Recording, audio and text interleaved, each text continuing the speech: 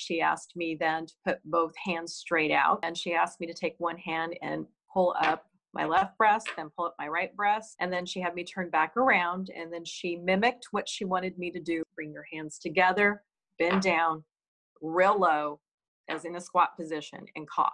And she was right there looking the whole time.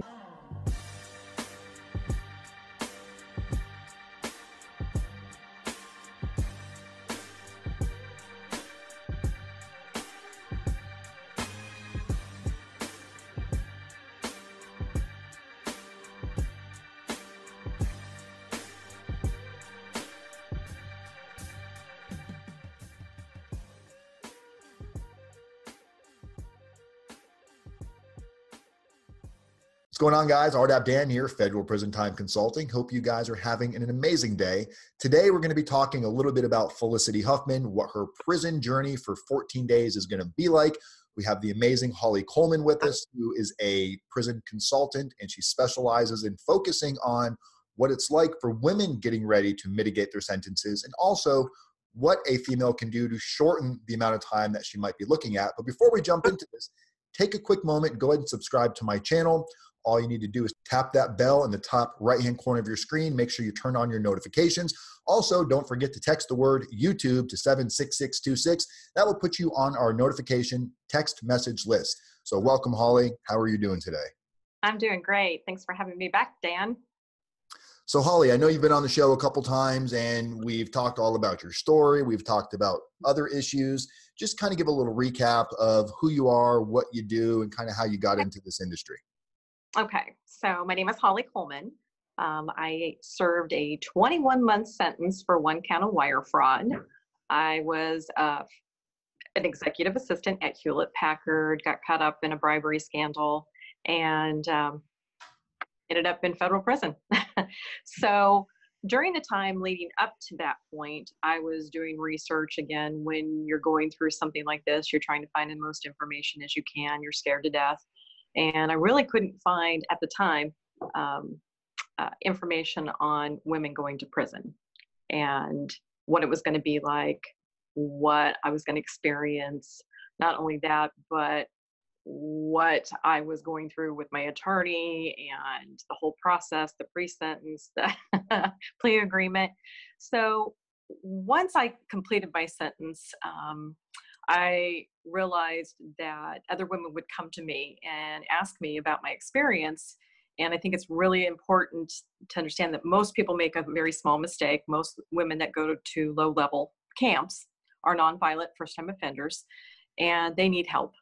So it's to help guide them and let them know that you can be successful and that you can, uh, again, have a life after this. And I think that's kind of the point here is so many people that are going through this right now, they really feel like it's the end of the world, life is over. These are just regular, everyday people.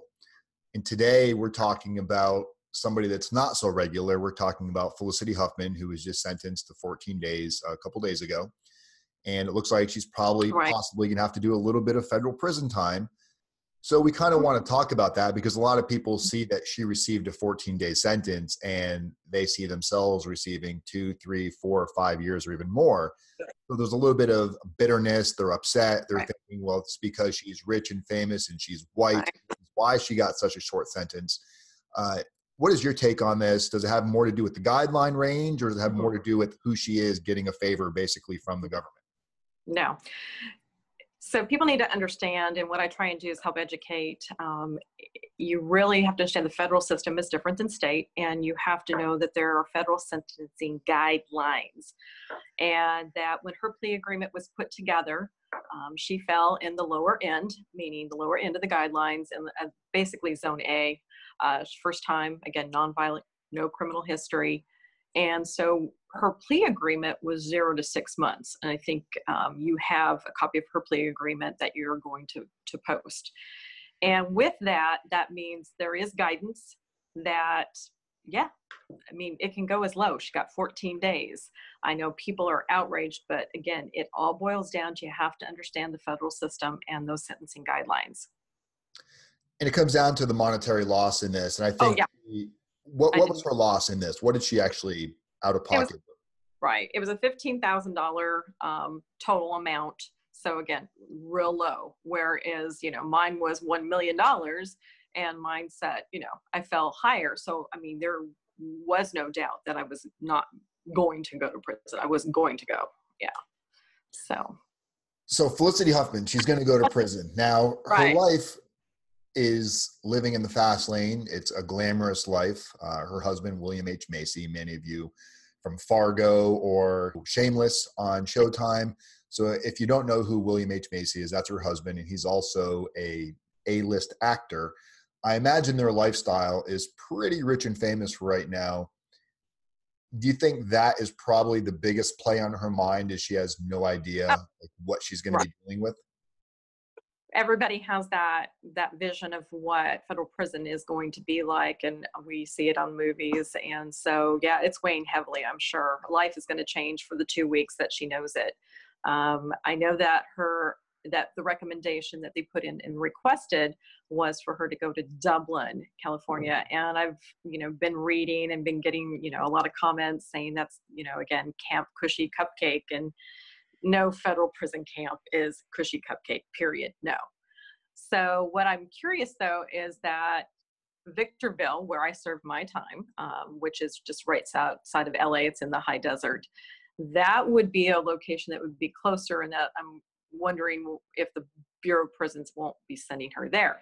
But again, getting back to the statement, her life will change, and yeah, she's going to be going into a very austere type of world.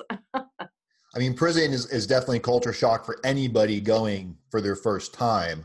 Uh, it's right. not going to be the end of the world for her, but right now no. she's living in the moment.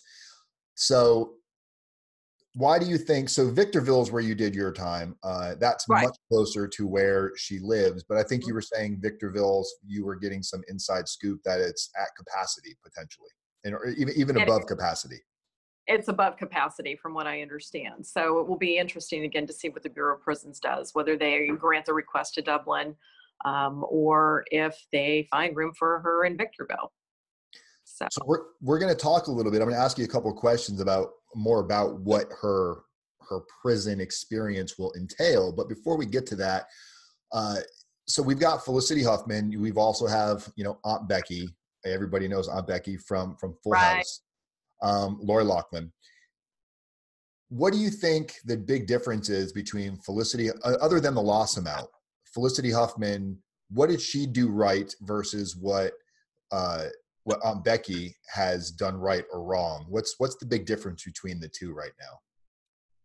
So I would I do have to commend Felicity Huffman for the fact that she did take acceptance of responsibility and that is one thing again that prosecutors look at and the sooner that you um, work again either accept a plea agreement and show that you are accepting the responsibility of it, it it's huge. Her statement was proper. She's been very you know contrite and humbled when she did her statement. I believe her. Um, I believe that she was in pain uh, and it shows. And she would like to make it better. But so these are the things. Acceptance of responsibility is a huge thing in the federal system. Uh, Lori Loughlin had pled not guilty. They came back with more charges. Uh, obviously, there's a conspiracy tag in there as well, a charge. Uh, she's not doing the right things. I really am surprised that her attorneys are leading her down the trial here because fact is yeah we all know that when you take it to trial. And if you lose which 99% of the time happens um, you know she's going to get jail time and, poss- and probably more. What type of time do you think she's potentially looking at if she's found guilty? A her loss amount is higher. I think she's up upwards around what half a million right Right, half a mil. So I believe her level is uh, 18 right now. So that falls into the category of, I believe, what was it, 27 to 32 months. I don't think she'll, she'll get that per se, but she is going to get some time. Yes, considerably more than Felicity Huffman. And also in Felicity Huffman's case, even though she was looking at zero to six months, because she pled, she mm-hmm. took early acceptance responsibility and she really I mean, look, everybody knows, anybody that watches from the outside in knows that everybody's guilty in this. Uh, was there some Mm-hmm. maybe being a little not paying attention or just getting comfortable because this is how it's always been done over decades and decades? You pay to get your kid into school.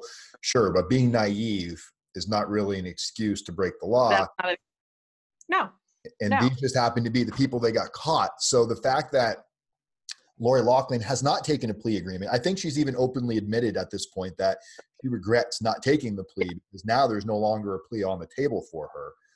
Um, right. She probably would have been looking around a similar sentence to what uh, Felicity Huffman received, maybe a little bit longer, maybe you know 60 days to 90 Just a days little.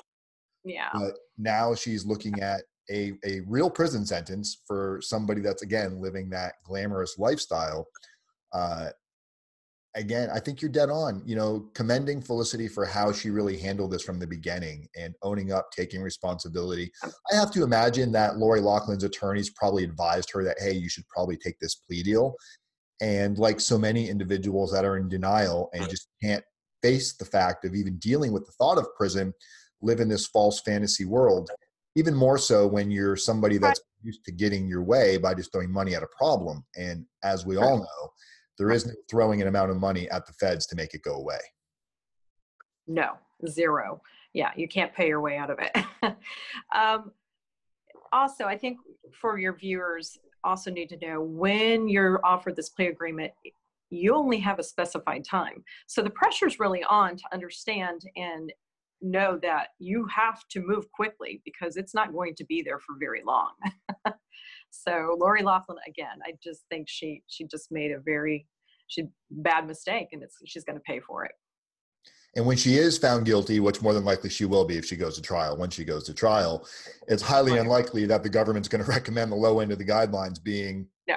you push them to actually go the extra limit and drag more resource and energy and waste of time going through this just to get the They same don't like that. They don't like it, right? So it's going to be like interesting it. to watch that. So, Yeah. so back, so back to Felicity. Um, you were just on Right. Inside Edition a couple days ago. They Right. had a really neat little interview, and there's actually a link in the description of this video. This interview that you did with Inside Edition, they asked you a lot of questions about uh, Felicity Huffman, and one of the things that you spoke about was her job, what she might do Right. for work in prison. And I had a question because I just remember from my own my own prison experience do you think there's an opportunity that she might not actually work just due to the fact that prior to getting a job she's got to go through like a and o and i sat in prison for almost three weeks before they even brought me through any process to assign me in a, to assign me a job is there a chance she might sit there and not actually work at all So I want to clarify that. Yeah, usually when you're your 30 days administ- A and O, admissions and orientation status, and you're not assigned a job until you go complete that. Um, however, when you are on A and O status, they, meaning the BOP, your unit team, can send you to work on jobs. And my experience with my first 30 days, I didn't sit there for 30 days. They had me cleaning the the unit. They had me working in the kitchen. They had me working outside on the complex. Um, so yes, it it just depends on. So she could work, could be asked to work, um, but typically won't be assigned a job since she won't be there long enough.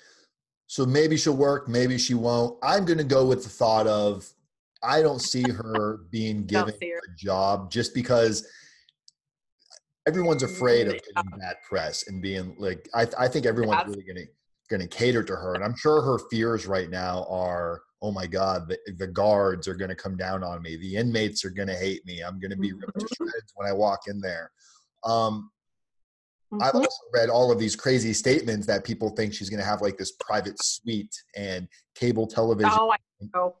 So, t- so tell people what's it like for for a celebrity that goes into prison? We've all been to prison with celebrities. Do they get?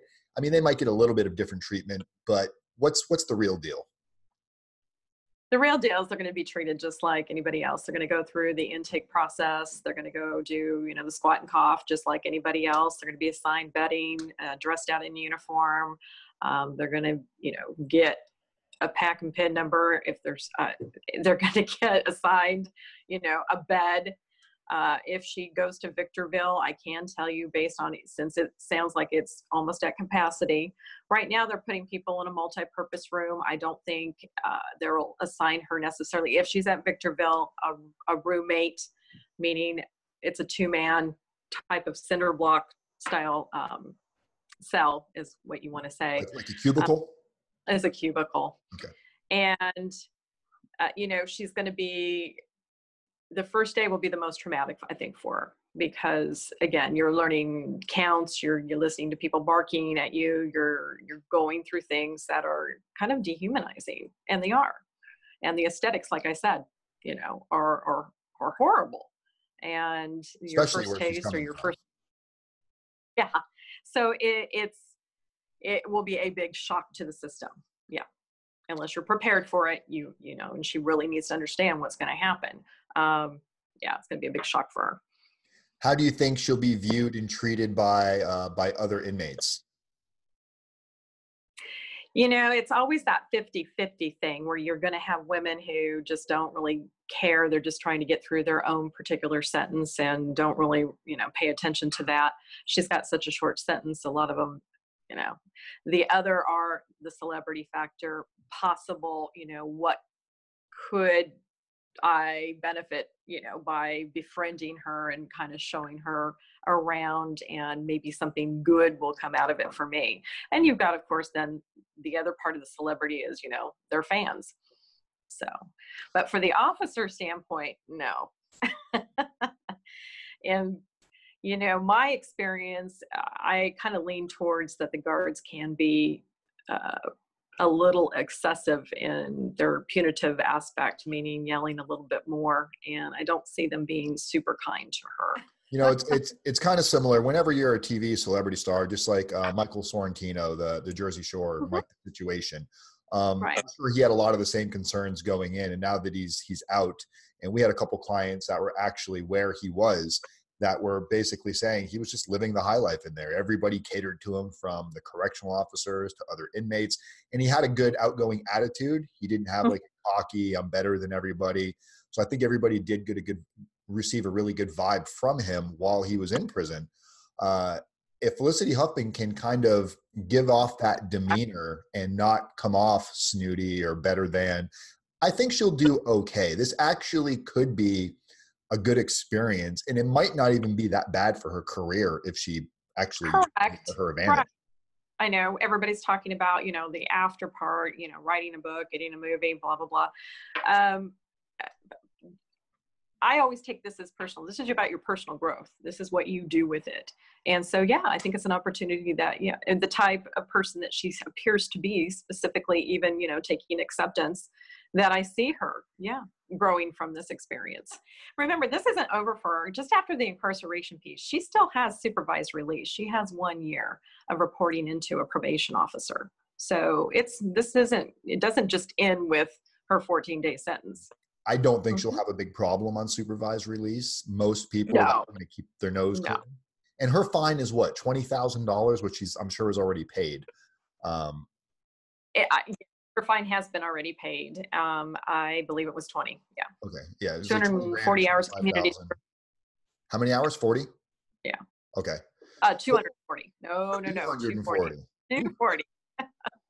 Well, hopefully she's got some awesome charity. Look, this is a great experience for her to bring Yeah. awareness to a let's just call it what it is. It's a pretty corrupt system. Um, I don't think prison is called for for what she did. I feel a fine or maybe even a, a more excessive of a fine for who she is and what she can afford would have would have made more sense.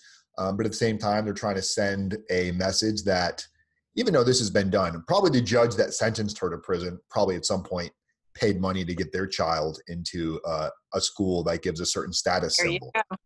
Yeah. So it's it's easy to point the finger, but everybody wants the best for their families and their children. And when it's been done like this for decades after decades, it becomes it becomes almost like, oh, this is what everybody does. You're not even thinking about it. So not dismissing what she did. I mean, she did No. commit a crime, if you want to call it a crime. But at the end of the day, there's way worse things that are happening where we're where we're locking people up for next to nothing. Uh, Agreed. John Yeah. Mayer. Somebody came out and just spoke publicly about this. I forgot who it was, John Mayer or somebody came out and basically John- said, you know, where who was it? Was it John Mayer? John Legend, I think. John Legend. Legend. John Yeah. Legend. Wrong John. Yeah. Um, but yeah, that and that's the truth. You know, hearing some of these celebrities come out, it's easy for the regular person, for us, for us common folk, to say, "Oh, they deserve this, they deserve that," and really, what that is is that's just us being angry and pissed off that they live the lifestyle that we all want. Um, but she's Mhm. got family, she's got kids. This is it's no different when you're dealing with with the the mental side of this and what she's where Right. she's coming from and where she's going to have to now go for 14 days. Um, and honestly, 14 days. I don't care who you are. When you've never been anywhere before, 14 days going to prison, it's it's a mental a mental breakdown in your head until you get there. So don't forget, guys, if you want to book a consultation with Holli, if you have a loved one that's heading off to prison or getting ready to go to prison and you really want a, a female's perspective on what it was like for them, Holli's contact information is in the description of this video. Her email is holli, H O L L I, at federalprisontime.com. And you're more than welcome to book up a consultation with Holli, spend a little time with her on the phone, and see how she might be able to help you and your family. Uh, so, what's the food going to be like for Felicity Huffman? What is, is you think that's going to Oh. be a challenge for? She's going to be shocked at this. Um, food, as we know, yeah, heavily carb loaded. Um, it, it- you know, the Federal Bureau of Prisons feeds people on what is a dollar eighty-seven a day. It's it's just unbelievable. And so a lot of the food, you know, has been sent in warehouses for years. It comes over. Um, eh, yeah, it's it's not nutritious. There, you really really have to pay attention on what to eat. You get one piece of fruit only at Victorville, and that's in the morning, and you can't take it out of the dining hall. Obviously, any food out of the dining hall, so you have to consume it there.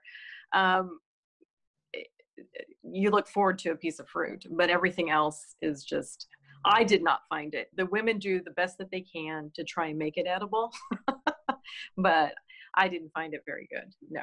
I saw in the interview you did with Inside Edition, you actually stated, and I mm-hmm. remember hearing this, I never saw it firsthand, but you stated that a lot of the packaging on the food says not for human consumption. Indeed, it did. Yes.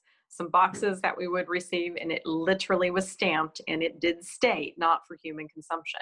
That's when you want to have a camera to take a picture of this because it's just a, unbelievable. You're going and eh, you're being served this, and they know it and they bought it. That's that's incredible. And this is the food that's given yeah, in like mainline or chow hall, whatever you term you want to use for it. Now, when we go to commissary items, do you think Mhm. Felicity Huffman's going to get in on any of the prison spreads where she might get together with a couple of the females in there that are making, whether it's be burritos, pizzas, cheesecakes, whatever other little dishes you can make. Other, commissary. Do you think she might get involved? Make quite a. You know, she's there for two weeks. She's certainly going to see it, but I don't know if she'll get necessarily involved in it. She's only going to have an opportunity to shop what twice, once a week, and but she'll definitely see it.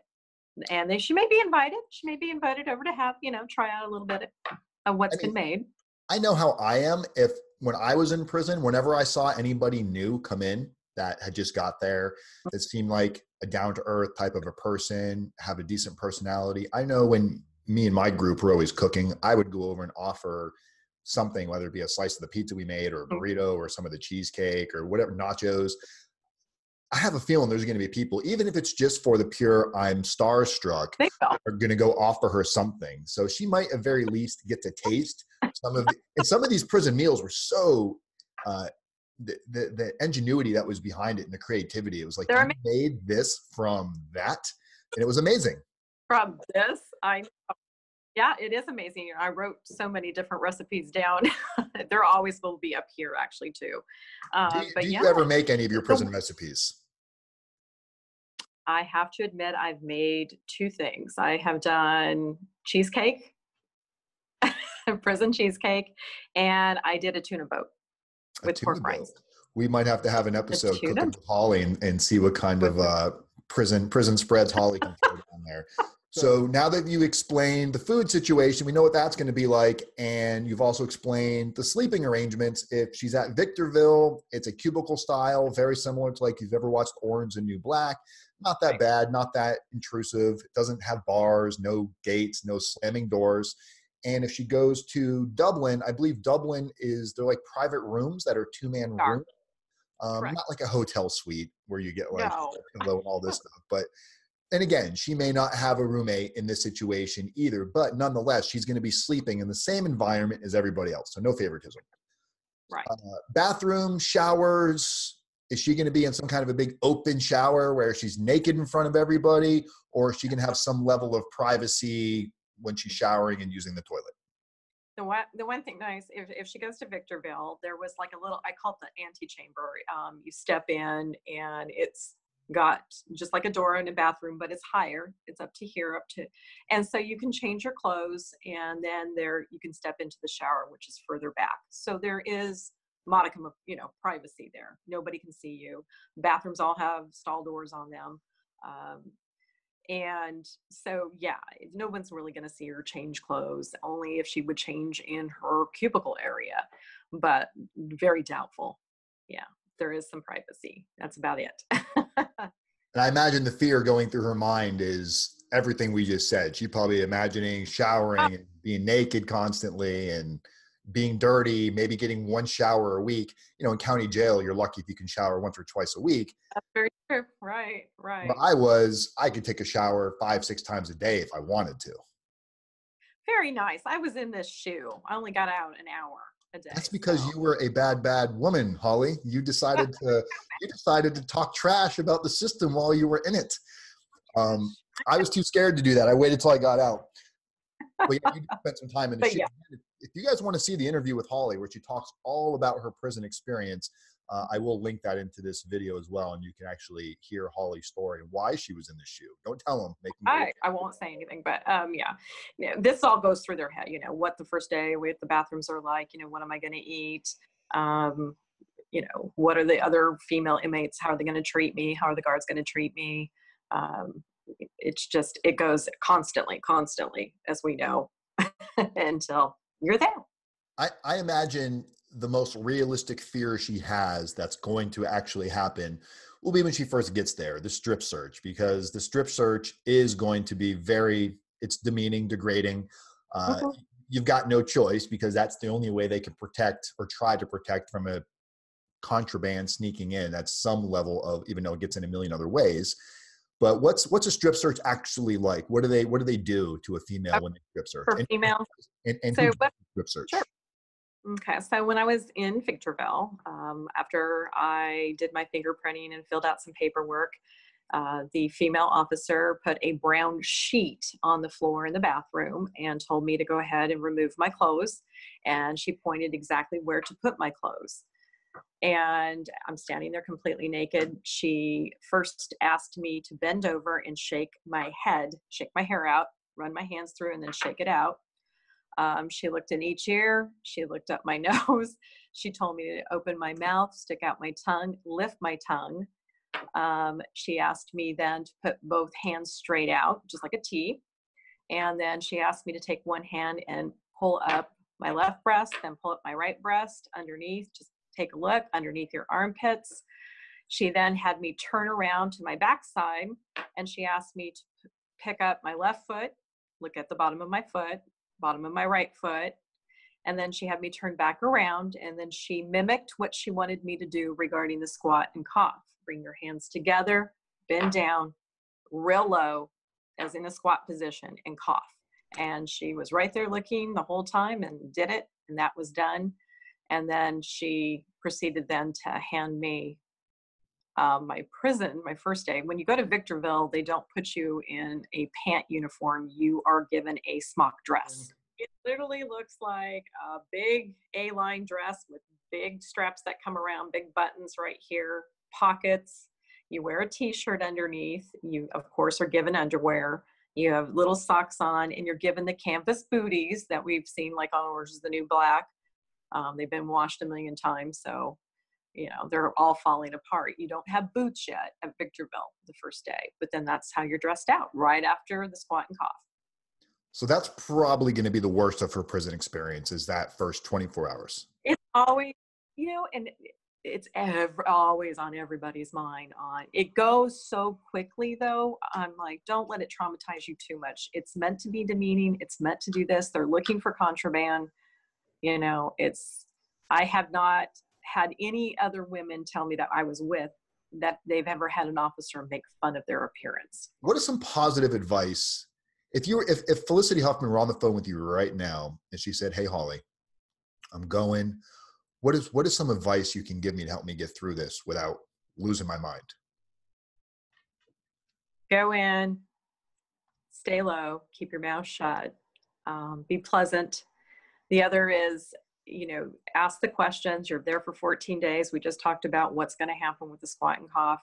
Um, educate really kind of what the process is going to be that whole first day and really kind of just for those then the additional 13 days just to get through it. And again be pleasant don't